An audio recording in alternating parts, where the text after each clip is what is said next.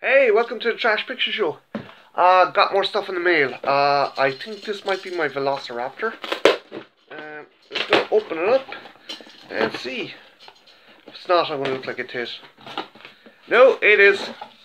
It's the original Jurassic Park Velociraptor. see if he works. Huh? No, he doesn't. But um, I recently got this Chasmosaur. Lost World Chasmosaur.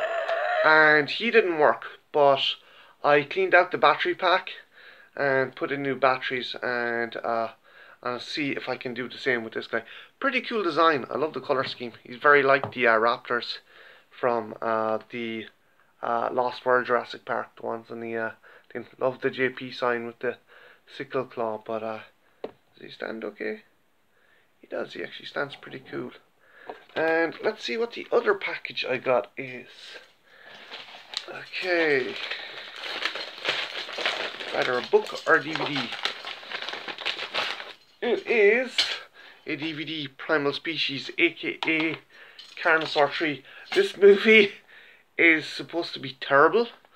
And I'm going to review it for uh, Jurassic June. I'm going to review a couple of really shitty uh, Jurassic Park knockoff movies um, in the lead up to Jurassic World Fallen Kingdom. And uh, yeah, the if you've ever seen Carnosaur, they seem to have stepped down from the raptors in the original one to these really shitty puppety looking raptors. Um, the first Carnosaur was alright, but uh, the film started to degrade as they went on. It's a Roger Corman movie, so what you expect. But uh, yeah, Primal Species is going to review this schlocky piece of shit. Uh, should be good fun. So uh, yeah, that's what I got in the mail today. This movie and this Velociraptor. And uh, yeah, I'm to see if I can change his uh, batteries and put a new one in. So uh, my name's Martin. That's been the Trash Picture Show. And uh, have a good one. Take care. Bye now.